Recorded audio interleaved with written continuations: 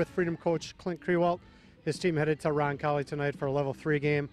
Clint, uh, your team's through uh, two weeks and now you go to level three. Last year, same position on the road, you won.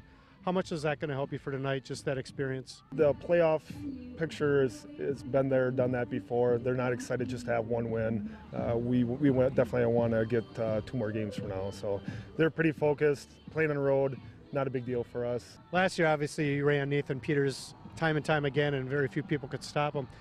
Your, your offense is a little bit different now because he's got a little help. And can you talk about how that has helped your team? We added a little bit of a passing game this year. Uh, at times you struggle with it, but I think that's another weapon for us. But now with uh, the addition of Isaac running the ball also, those two are they're a pretty good combination. Knowing how much you guys like to run it and they like to run it, how important is it to be ahead in the fourth?